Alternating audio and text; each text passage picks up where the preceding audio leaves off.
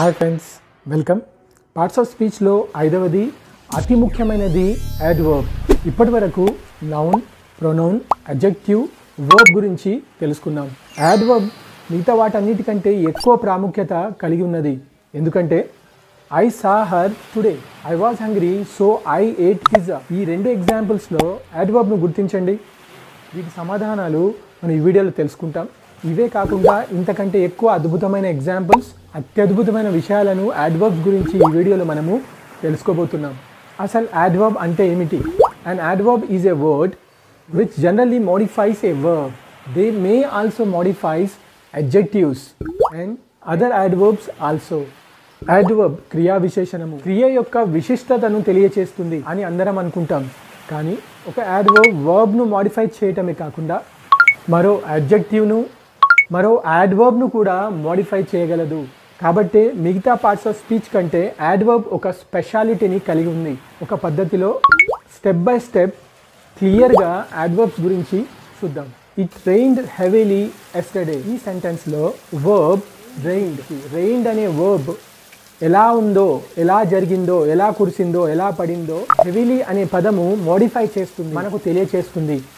కాబట్టి ఈ సెంటెన్స్లో హెవీలీ అనేది యాడ్వర్బ్ అవుతుంది. The alarm rang loudly rang అనేది వర్బ్ ఆ మోగే పని ఎలా జరిగిందో తెలియచేస్తున్నది మనకు. లౌడ్లీ అనేది. కాబట్టి లౌడ్లీ అనేది యాడ్వర్బ్ అవుతుంది. దే ఆర్ హ్యాపీలీ మ్యారీడ్ పెళ్ళి చేసుకోవడం వర్బ్ మ్యారీడ్ ఎలా పెళ్ళి చేసుకున్నారు? Happily she sings melodiously sings అనేది వర్బ్ పాడటం ఎలా ఉంది? మెలోడియస్లీ మెలోడియస్లీ అనే పదం యాడ్వర్బ్ అవుతుంది. హీ స్పీక్స్ క్లియర్లీ అతను మాట్లాడుతున్నాడు. స్పీక్స్ వర్బ్ ఎలా మాట్లాడుతున్నాడు? క్లియర్లీ క్లియర్లీ యాడ్వర్బ్ అవుతుంది. షీ రీడ్స్ కేర్ఫుల్లీ ఆమె జాగ్రత్తగా చదువుతుంది. రీడ్స్ అనే వర్బ్ ఎలా జరుగుతుంది? జాగ్రత్తగా జరుగుతుంది. కేర్ఫుల్లీ యాడ్వర్బ్ అవుతున్నది. షీ స్విమ్స్ వెల్ ఆమె బాగా ఈదగలదు. స్విమ్స్ అనే వర్బ్ను వెల్ అనే యాడ్వర్బ్ మాడిఫై చేస్తుంది. కాబట్టి వెల్ అనేది యాడ్వర్బ్ అవుతుంది. హీ ర్యాన్ క్విక్లీ ఎలా పరిగెత్తాడు? త్వరగా. క్విక్లీ ఇక్కడ క్విక్లీ యాడ్వర్బ్ అవుతుంది. ఈ ఎగ్జాంపుల్స్ అన్నిటిలో యాడ్వర్బ్ అనేది వర్బ్ను మోడిఫై చేయటం చూసాం డెఫినేషన్లో అడ్జెక్ట్ they may also modifies adjectives అని కూడా తెలుసుకున్నాం. ఒక వర్బ్ను మోడిఫై చేయటమే కాకుండా అడ్జెక్టివ్స్ని కూడా మోడిఫై చేయగలవు. కొన్ని ఎగ్జాంపుల్ చూద్దాం. The movie is really awesome ఇక్కడ మూవీ సబ్జెక్ట్ మూవీ నౌన్ ఎలా ఉంది? ఆసమ్ ఇక్కడ ఆసామ్ అనేది అడ్జెక్టివ్ అయితే ఈ అడ్జెక్టివ్ని కూడా మోడిఫై చేస్తుంది రియల్లీ రియల్లీ అనేది యాడ్వర్బ్ ఆసమ్ అనే అడ్జెక్టివ్ను మోడిఫై చేస్తున్నది. The story was very interesting story noun ఎలా ఉంది స్టోరీ స్టోరీ యొక్క విశిష్టత ఎలా ఉంది? ఇంట్రెస్టింగ్ అడ్జెక్టివ్ ఇక్కడ ఇంట్రెస్టింగ్ అడ్జెక్టివ్ ఇంట్రెస్టింగ్ను మోడిఫై చేస్తున్నది వెరీ అనే యాడ్వర్బ్ ఈ రకంగా they may also modifies adjectives adverb డెఫినేషన్లో they may also modifies other adverbs అని చూసాం కొన్ని ఎగ్జాంపుల్స్తో ఈ పాయింట్ను అర్థం చేసుకుందాం. She reads quite clearly reads verb ఎలా చదువుతున్నది? క్లియర్లీ ఇక్కడ క్వైట్ అనే మరొక యాడ్వర్బ్ క్లియర్లీ అనే యాడ్వర్బ్ను మోడిఫై చేస్తున్నది. She walks very slowly walks అనే వర్బ్ను స్లోలీ అనే యాడ్వర్బ్ మోడిఫై చేస్తున్నది. వెరీ అనే మరొక యాడ్వర్బ్ స్లోలీ అనే యాడ్వర్బ్ను మోడిఫై చేస్తున్నది. కాబట్టి they may also modifies other adverbs జనరల్గా ఏదైనా వర్బ్ చివరన ఎలవై ఉంటే అది యాడ్వర్బ్గా చెబుతాం. కానీ అన్ని యాడ్వర్బ్స్ ఇలా ఉండవు. వీటన్నిటి గురించి మనం అర్థం చేసుకోవాలి. చాలా సులువుగా ఎగ్జామ్స్లో ఆన్సర్ చేయగలగాలి అంటే టైప్స్ ఆఫ్ యాడ్వర్బ్స్ గురించి మనం తెలుసుకోవాలి. మొదటిది అడ్వర్బ్స్ ఆఫ్ టైం ఇది మనకు ఒక పని ఎప్పుడు జరిగిందో తెలియచేస్తుంది. When I saw her today ఈ సెంటెన్స్లో టుడే అనేది అడ్వర్బ్ టుడే అనేది ఎందుకు ఎలా అడ్వర్బ్ అయిందో చూద్దాం. అడ్వర్బ్ అనగా ఒక పని ఎప్పుడు జరిగింది ఏ సమయంలో జరిగింది ఏ రోజున జరిగింది ఏ టైంలో జరిగింది కూడా తెలియచేస్తుంది. ఈ సెంటెన్స్లో ఈ రోజు టుడే ఉంది.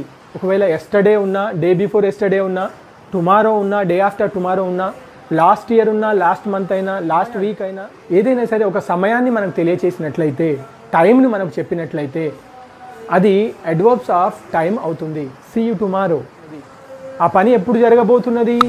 రేపట్టే ఇక్కడ టుమారో అనేది అడ్వర్బ్ ఆఫ్ టైం అవుతుంది. I have to go now నేను ఇప్పుడు తప్పనిసరిగా వెళ్ళాలి. ఎప్పుడు వెళ్ళాలి? అయిన తర్వాత వెళ్ళాలా? రేపు వెళ్ళాలా? ఎల్లుండి వెళ్ళాలా? నా నావ్ అనే యాడ్వర్బ్ గో అనే వర్బ్ను మాడిఫై చేస్తుంది కాబట్టి యాడ్వర్బ్ అవుతుంది. వేర్ వర్ యూ ఎస్టర్డే నిన్న మీరు ఎక్కడున్నారు? ఎస్టర్డే ఉండటము పని. ఎప్పుడున్నారు? ఎస్టర్డే ఎస్టర్డే ఎక్కడ ఉన్నారో గురించి మనకు తెలియచేస్తుంది మోడిఫై చేస్తుంది కాబట్టి టైమ్స్ ఆఫ్ యాడ్వర్బ్ అవుతుంది. I saw that movie last year నేను ఎప్పుడు చూశాను? సా ఎప్పుడు చూశాను అది? లాస్ట్ ఇయర్ కాబట్టి లాస్ట్ ఇయర్ అనేది adverb the movie starts at eleven PM టైంను తెలియచేస్తుంది కాబట్టి లెవెన్ పిఎం అనేది యాడ్వర్బ్ టైమ్స్ ఆఫ్ యాడ్వర్బ్ అవుతుంది. The elections are coming soon ఈ సెంటెన్స్లో సూన్ అనేది యాడ్వర్బ్ అవుతుంది. ఇక్కడ సూన్ అనే యాడ్వర్బ్ ఈ పని ఎప్పుడు జరగబోతుందో మనకు తెలియజేస్తుంది కాబట్టి యాడ్వర్బ్ ఆఫ్ టైం అవుతుంది. అంటే టైమ్స్ ఆఫ్ యాడ్వర్బ్ మనకు ఒక పని ఎప్పుడు జరిగింది అనేది తెలియజేస్తున్నది. జరగబోతుందా? జరిగిందా? అయిపోయిందా? మొదలైన విషయాలను మనకు ఎప్పుడు టైమును రోజును డేటును మనకు తెలియజేస్తున్నది కాబట్టి. అడ్వర్బ్స్ ఆఫ్ టైం అవుతున్నది. ఇది రెండవది adverbs of frequency.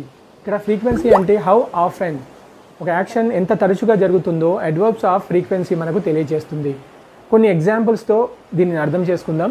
She always does her homework అంటే ఎప్పుడు చేయకుండా స్కూల్కి రాదు. ఎప్పుడు పని అప్పుడు చేసుకుంటుంది. హౌ ఆఫెన్ ఈ వర్క్ జరుగుతున్నది ఈ పని జరుగుతున్నది ఎప్పుడెప్పుడు జరుగుతున్నది? ప్రతిరోజు జరుగుతున్నది. కాబట్టి ఈ సెంటెన్స్లో ఆల్వేస్ అనేది ఎడ్వర్బ్ ఆఫ్ ఫ్రీక్వెన్సీ అవుతున్నది.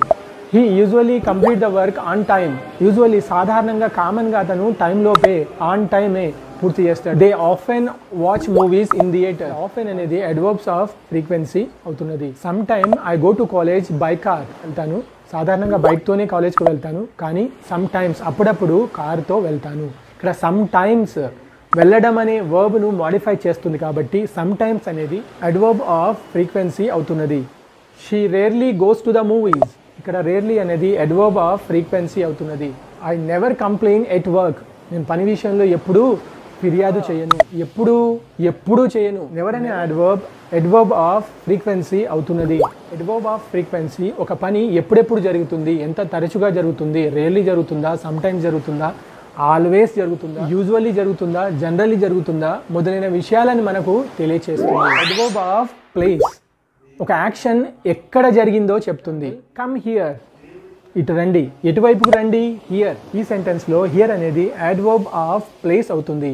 డోంట్ గో దేర్ అక్కడికి వెళ్ళకు. ఎక్కడికి? They he went to Agra yesterday ఈ సెంటెన్స్లో ఆగ్రా అనేది అడ్వర్బ్ ఆఫ్ ప్లేస్ అవుతుంది. I looked around but I couldn't find my pen around అనేది అడ్వర్బ్ ఆఫ్ ప్లేస్ అవుతుంది. ఐ సర్చ్ ఎవ్రీవేర్ ఇక్కడ ఎవ్రీవేర్ అనేది ప్లేస్ని సూచిస్తుంది. కాబట్టి ఎడ్వర్బ్ ఆఫ్ ప్లేస్ అవుతుంది. My mobile is on the table నా మొబైల్ ఎక్కడ ఉంది టేబుల్ పైన ఉంది ఈ సెంటెన్స్లో ఆన్ అనే పదము ప్లేస్ను సూచిస్తుంది. కాబట్టి ఎడ్వర్బ్ ఆఫ్ ప్లేస్ అవుతుంది. కమ్ ఇన్ ఇన్ అంటే ఇటువైపు రావాలి? లోపలికి రావాలి. కాబట్టి ఇన్ అనే పదము అడ్వర్బ్ ఆఫ్ ప్లేస్ అవుతుంది. I would like to go somewhere నాకు ఎక్కడికైనా వెళ్ళాలని ఉంది. సమ్వేర్ అనేది ఒక ప్లేస్ను సూచిస్తుంది కాబట్టి అడ్వర్బ్ ఆఫ్ ప్లేస్ అవుతుంది. Agra. Around everywhere on in somewhere మొదలైన పదాలన్నీ ప్లేస్ను మనకు తెలియజేస్తున్నాయి. ప్లేస్ను సూచిస్తుంది. కాబట్టి ఎగ్జాంపుల్స్ అన్నిటిలో వీటిని అడ్వర్బ్స్ ఆఫ్ ప్లేస్ అంటున్నాము. నాలుగవది అడ్వర్బ్ ఆఫ్ మేనర్ ఇది హౌ ఎలా ఒక పని జరుగుతుందో మనకు తెలియజేస్తుంది. హీ స్పోక్ సాఫ్ట్లీ అతను మాట్లాడుతున్నాడు. మాట్లాడడం అనేది పని వర్బ్ ఎలా మాట్లాడుతున్నాడు? మృదువుగా మాట్లాడుతున్నాడు. సాఫ్ట్లీ కాబట్టి అడ్వర్బ్ ఆఫ్ మేనర్ అవుతుంది. The child ran happily towards his mother ఎలా పరిగెత్తాడు? హ్యాపీలీ కాబట్టి హ్యాపీలీ అనేది ఈ సెంటెన్స్లో అడ్వర్బ్ ఆఫ్ మేనర్ అవుతుంది.